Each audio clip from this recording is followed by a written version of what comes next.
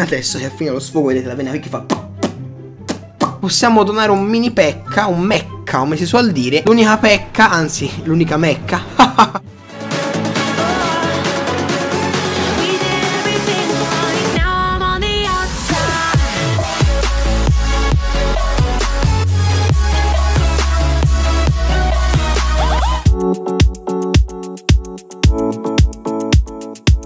Ciao a tutti benvenuti in questo nuovo video di questo nuovo gioco avete visto dal titolo. Siamo su Clash Royale, ho aspettato tanto perché potevo già registrarlo Perché ci gioco già da un po' a Clash Royale. Potevo già registrarlo con BlueStack ma ho deciso di aspettare uscisse per il telefono.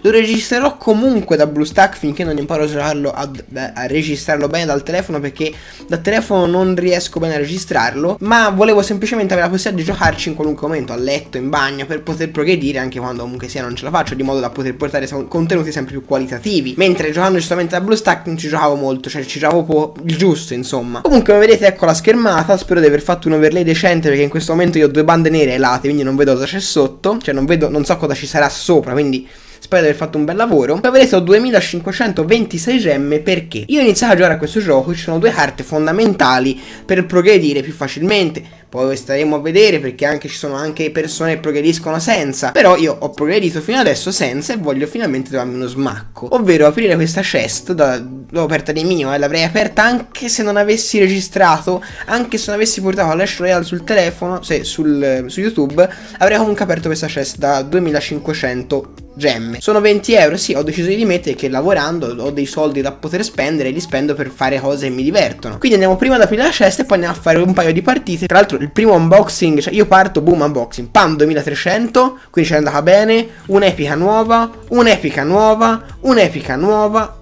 un'epica nuova. Ancora non ho trovato il principe, ragazzi, che è la carta... What? Ma non ho, tro no, cioè, non ho trovato il principe. Cioè, la carta fondamentale, che è la, una delle carte più forti del gioco, e sta anche nerfata, è il principe. Io sono riuscito a non trovarla.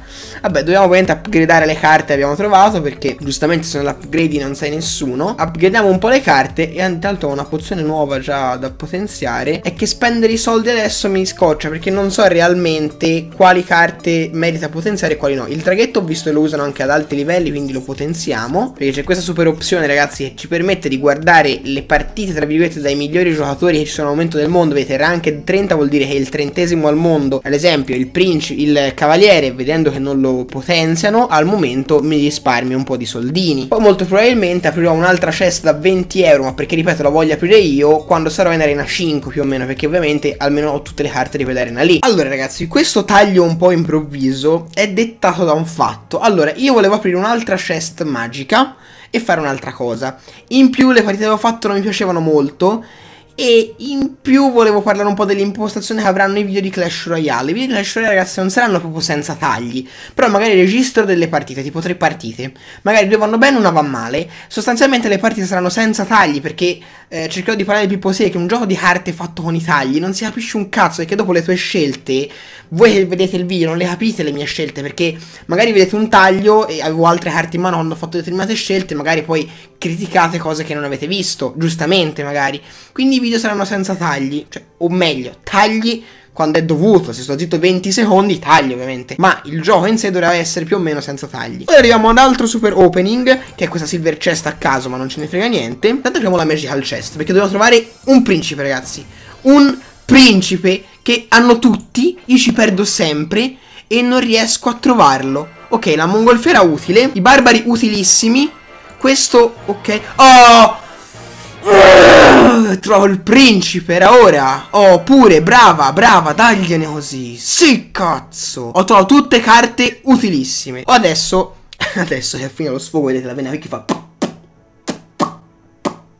Adesso parliamone. Voi avete visto, avevo 6500 gemme, quindi sapete benissimo che, come potete vedere dallo shop, ho speso 50 euro. E voi direte, sceppone.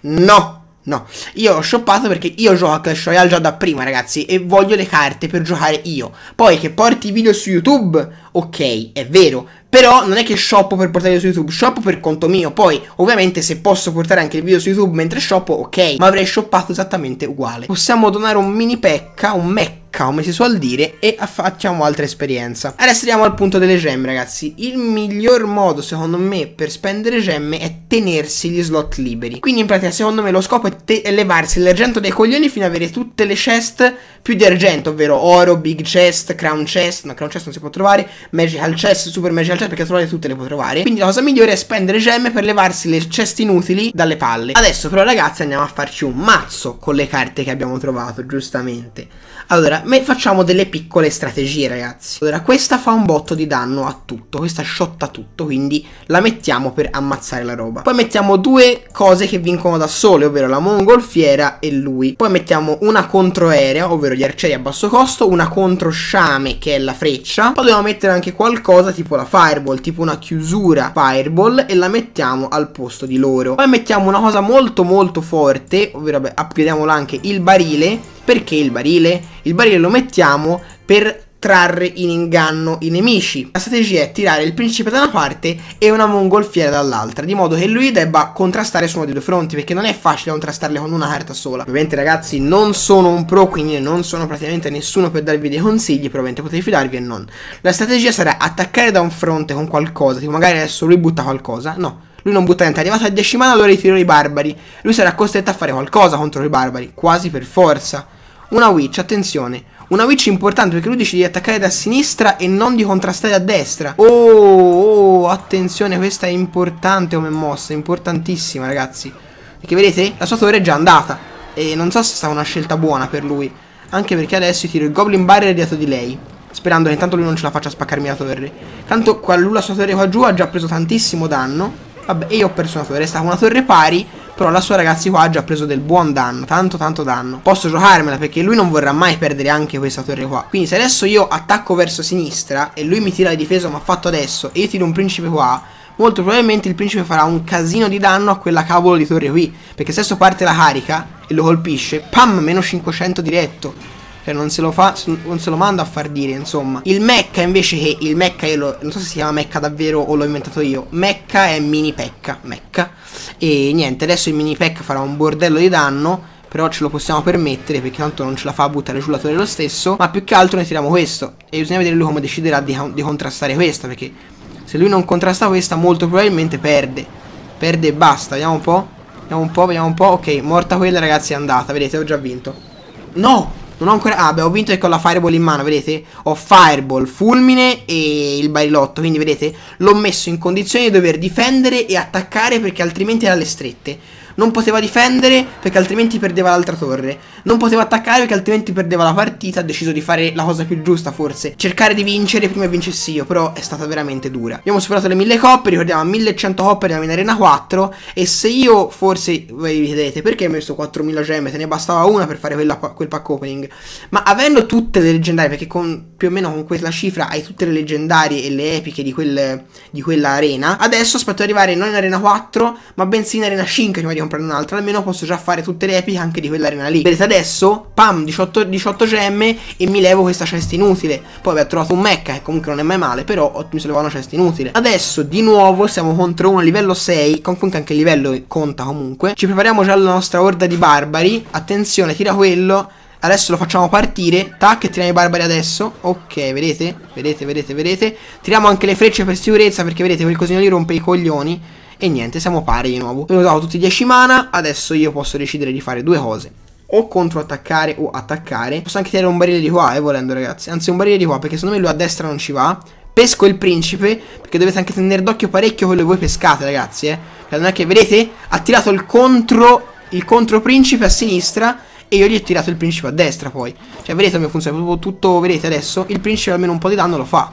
Vedete? Insomma, 500 danni, non pochissimi. E in tutto questo siamo pari mana, più o meno, anche se adesso questa qui mi farà il culo. Ma adesso io faccio così, vedete? Lui ha tirato il balloon su di me, io tiro il balloon su di lui. E il suo balloon farà tra l'altro un botto di danno. Forse ce la fa anche a spaccarmi la torre. Oh, ce l'ha fatta uguale. Vabbè, ovviamente ragazzi, il balloon è, il balloon è questo. Cioè, ovviamente non questo per forza, però adesso, adesso la sforza sua torre no, non l'ho rotta. Ma ci andrò vicino perché adesso io faccio così. Ovviamente adesso lui prende un botto di danno, sto cosino qua. Tiro i, i, barba, i, ba, i barbari, i barbari a sinistra E adesso tirerà qualcosa per spaccarmi la torre del, del Nexus, diciamo così. La torre, quella principale, tirerà qualcosa di sicuro per rompermela forse. No, invece non gliene frega assolutamente niente. Quindi io aspetto a questo punto e a 7 mana, anzi a 8 mana, tirerò il l'orda di goblin a sinistra. Ok, orda di goblin a sinistra. E aspetto, vediamo quanti anni faccio prima con l'orda di goblin, vediamo un po'. Vediamo un po', ho fatto comunque i miei sporchi, boia, tantissimi danni in realtà. Non pensavo di farne così tanti, adesso tirerò il principe a, a destra e mi preparo per un controattacco da sinistra. Perché se lui fa qualunque altra cosa, vedete, comunque sì, attenzione, tiriamo le frecce così spacchiamo anche la torre. Oh, no, cosa? No, no, vabbè, comunque la torre la spacco. Tiriamo un fulmine qua, che spacca tutte e tre le infrastrutture in teoria. Ok, ok, bravissimo, vedete, il fulmine è utile, tra virgolette. Cioè, tra virgolette, no, il fulmine è utile, punto. Attenzione, ok. No, anche quella viva. Vabbè, tutte vive le sue comunque. Vabbè, adesso facciamo anche così perché mi sarei anche un po' rotto il cazzo. Come vedete, tra l'altro ho avuto fortuna perché il mio principe non ha dato tempo al suo principe di fare la corsa. Siamo pari. L'unica pecca, anzi, l'unica mecca. l'unica fortuna mia, ragazzi, è che più semplicemente la sua torre ha pochissima vita. Vedete? Adesso basta che tiro una fireball qua, tirata per bene, senza sprecarla perché più che altro rischiamo magari di perdere la partita. Quindi adesso tiriamo questa fireball qua, questa pioggia di frecce qua, aspettiamo due secondi e abbiamo vinto di tempo, vedete? E ragazzi questo gioco è super tattico Comunque l'unica certa ragazzi è questa Praticamente la strategia funzionante è che tu devi sempre cercare di contrastare il tuo avversario Ma facendo rimanere quello con cui tu hai contrattaccato in campo Perché così voi avete lo stesso mana Ma il board, mi suol dire il tavolo È dalla tua parte Perché le tue torri hanno la stessa vita delle sue avete lo stesso mana, avete le stesse carte in mano, ma tu hai delle truppe in gioco. Quindi se lui vuole contrastare quelle truppe che erano già in gioco da prima, dovrà usare delle truppe nuove. Mentre tu userai le truppe nuove per contrattaccare dall'altra parte. Tutto una roba incredibile, ragazzi. Comunque, ragazzi, spero che il video vi sia piaciuto. Lasciate 2000 mi piace per questo gioco che a me fa impazzire. Quindi io lo voglio portare. Poi fate voi. Comunque, condividete il video, commentate, dicendo cosa pensate del gioco e cosa avreste fatto al posto mio. Iscrivetevi al canale e passate le mie social che sono qua in descrizione. Ci vediamo appunto al prossimo video. Per questo video era tutto. Ciao Nini!